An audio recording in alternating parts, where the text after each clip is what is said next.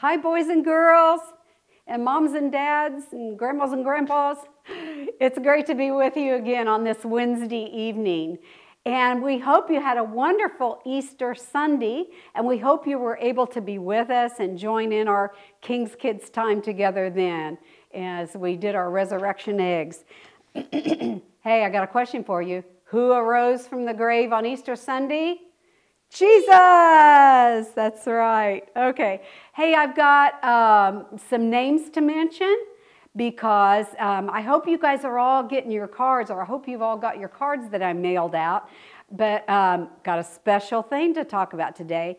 Evie Hoffman has a birthday today. So we're going to sing happy birthday to her in a minute.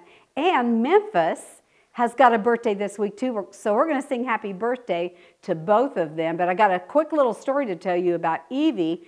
When we uh, went past, well, no, her mom texted me and showed me a video.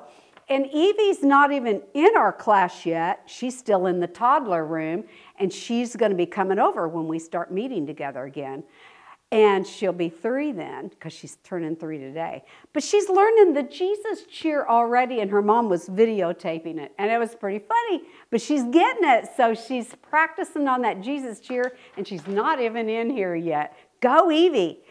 So um, let's sing happy birthday to Evie and Memphis right now. Sing with us, boys and girls, okay? Happy birthday to you. Happy birthday to you. Happy birthday, dear Evie and Memphis. Happy birthday to you. Yay! We hope you have a great day, Evie. Um, and Memphis on in the week. So we've, we've been hearing from others. Um, Carter and Cooper, he's, they've got their card, and so have your mom give me a text if you if you got got your card in the mail, okay? And I think most of your parents have my phone number. And Tatum and Allie's still watching. Max, Evie Barnes, Oliver, Eli, Mackenzie. I think you guys are all watching. So if I didn't mention your name, give me a text and let me know you're watching, okay? And if you make one of those activities, um, that we're going to talk about in a minute, why, take a picture and have mom send it to me. Okay, so we're going to go into our memory verse now. And I think you probably remember what it is, but we're going to do it in a special way, okay? Let's say it one time and then see if you can find something to shake. Sarah and I is going to shake some scarves, but you can shake anything a dish towel, a wash rag, dad's old dirty sock, whatever you can find laying around to shake. And we're going to shake those things as we sing our memory verse song, okay? All right, we're going to say it one time. How good it is. How good it is. To sing praises to our God. To sing praises to our God. Okay, grab something and we're going to sing it together.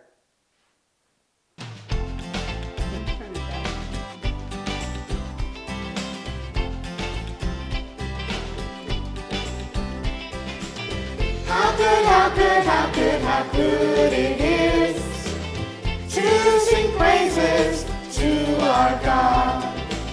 How good, how good, how good, how good it is to sing praises to our God.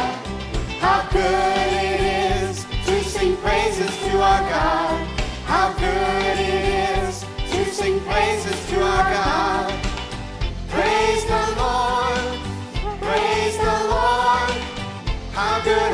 good, how good, how good it is to sing praises to our God. How good, how good, how good, how good it is to sing praises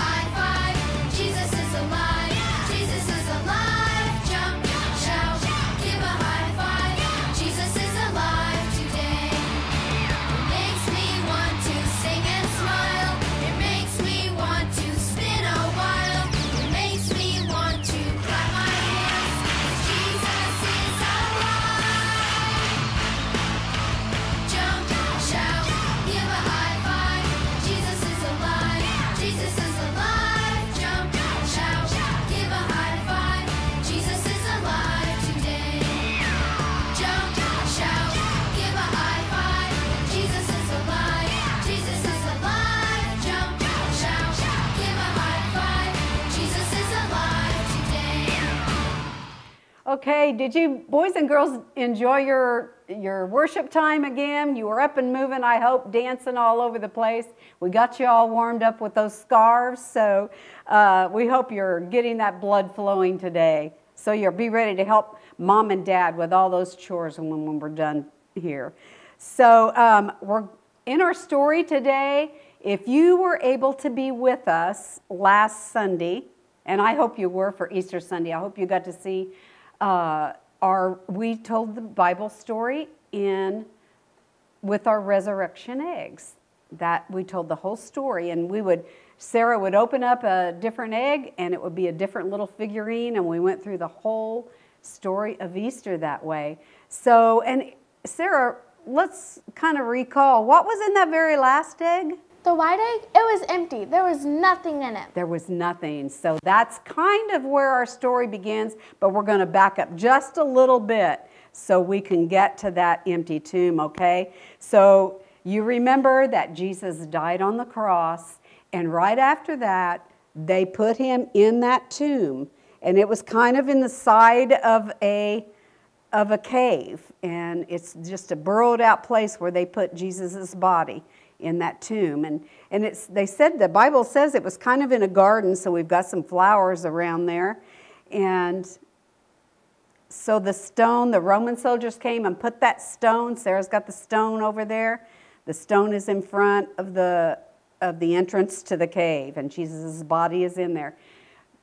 Do you remember that Jesus had told his disciples that after how many days? Count with me. I'm going to put my fingers up, count with me. One, two, three. After three days, he would arise from the grave. He would arise from the dead. And so that's kind of where we're starting. Look what's happened. What happened to our, our grave? The stone. The stones rolled away. So that's where we're going to start our story. Mary, the very the third day, at the morning of the third day, it was still kind of dark out. Mary comes to the tomb and she's going to anoint Jesus' body with oil. That's what they did back in those days when someone died. And Mary had brought oils with her and she came to the tomb and she sees that the stone has been rolled away. And about that time, she, she looks and she sees that the body is gone. The clothes are there, but the body is gone. And all of a sudden, she starts crying and she's upset. And two angels come and they say, why are, why are you crying? And she said, Jesus' body is not in the tomb anymore. I don't know. Someone's come and taken it away, and I don't know what they've done with him. And she's crying so hard, and she's upset. And someone said, Mary, why are you crying? And she said, Sir, if you've taken him away, please tell me where you've put him. And Jesus said her name again, Mary. And when Jesus said her name like that, she realized, she looked up and she saw that it was Jesus that had spoken to her. And she said, Jesus, you're alive. And she was so happy. And Jesus told her, she said, Jesus, or Mary, go tell the others that I have risen, that I am alive. So she ran to tell the other disciples. And you know, they didn't, they, did, they just couldn't hardly believe it. They still didn't remember that Jesus had told them this was going to happen. And the other two ran, they ran to, two of them ran to the tomb. It was um, John and Peter. And they go to the empty grave, they see the stones gone, and they look in, and all they see is the grave closed. Jesus' body is not there. He has risen. And so they go back and they tell the other disciples who was staying in a room that he had risen. He is alive. So at Easter time, that is why every time we have such joy in knowing that, yes, Jesus did die on the cross, but no, he did not stay dead. He arose after the third day, and he's alive, and he and he loves us. He lives in our hearts, doesn't he? So each, each Easter, we get to celebrate this time and we remember Jesus and what he went through for us, but how the story ends up so wonderful because he's alive. And you know, we, another thing we remember at Easter time, we see it all around us. We see, well, we see some flowers right there in the garden, don't we? If you get to look outside your windows and you can see things are changing, there's new life all around us. And it always happens around Easter time. Trees are starting to bud and the flowers are starting to bloom. And if you get to drive with your parents out in the country, you will see new baby animals. There's new life there baby cows, baby piggies, baby goats, baby chicks, baby ducks, all kinds of babies. So we have new life all around us. And it reminds us Jesus told Mary, Go tell the others, I'm alive. We want to tell others. Jesus wants us to. We've become like Jesus' disciples, where we have an opportunity to tell everyone about Jesus, that he's alive and he loves them. So, how about we go to the table over there where we do our crafts and we have an activity that you're going to get to make if you can do that at home. And Sarah's going to show you how to make it. So let's go. Okay, boys and girls, this is a craft that it's a little messy, moms and dads. Sorry about that. But it'll be fun for them if they can do it. So we just started, I started out with a full piece of construction paper. I, I chose yellow, but any color will work. And here's what I ended up with. We're just making a butterfly. It just shows again the new life, the things that God gives us each season as they roll around, new life. And uh, butterfly's one of them, so we thought it'd be fun to make a butterfly. So we, I actually cut the construction paper in half so that it's a little smaller. And you start out, you think you would start out decorating it first, but actually you start out just scrunching it all up. And Sarah's going to show you how that goes. You just scrunch it all up, and you're making, you're actually making the wings. And now she's going to take a pipe cleaner, and she's just going to wrap it all around there and turn it around again. You can even twist it and put the whole thing around it again if you want. Depends on how long you want your little butterfly antennas. Okay, she's doing it that way. Yeah, she's getting it all twisted around there. And she's going to make those little antennas at the top. And you can, you can readjust those when you get done. But it's much easier now. In King's Kids, we spread some glue out. We don't really use glue sticks a lot. We get the old glue and the paintbrush out, and she's going to just put some, spread some glue out on her wings. And we should have got a bigger brush, shouldn't we? The bigger the brush, the quicker that's going to go on. But just spread your glue on. And I got glit. I have had glitter glue uh, because I grabbed this at home. But you can use any kind of any kind of white glue. And just spread it all on the wings wherever you're going to want it. And then you can sprinkle it with anything else. If you have glitter or confetti, that's, a, that's kind of how I decorated mine. But if you don't have these things, you can take little pieces of tissue paper, toilet paper, whatever, construction paper, and wad them up and glue them and stick them. You could put stickers on your butterfly, or I can just really anything to decorate it all up. Or you could even draw before you put the wings before you scrunch the wings together. If you're going to draw, you'd want to do that first. Okay, look, she's got it all decorated. And then, of course, you're going to have to let it set and dry. So there you have it. New life in a butterfly. And you can put that in your room when you get it all done. And each day you get up and look at it, and you can think, I have new life in Jesus. Okay, so boys and girls, we're ending our time together today. We're so thankful that you have joined us, and moms and dads, aunts and uncles, grandma and grandpas, whoever's out there. We're glad that you were with us, and and again continue into that the ending of our Easter story.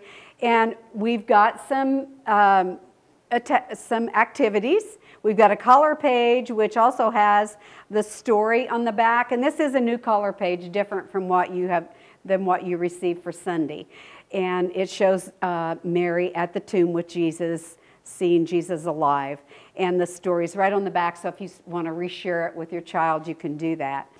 And then um, also, the other activity page we have it goes with the butterfly, and it tells you on here when you download it, it tells you kind of a different way to make your butterfly, and I didn't like it because it said to do it inside a Ziploc bag, and it looked like a mess to me. I would much rather get glue out and really make a mess. So, so we made it this way instead of the way it tells. But it, this activity page also has another another page that I kind of drew off, and it is a picture of the empty tomb.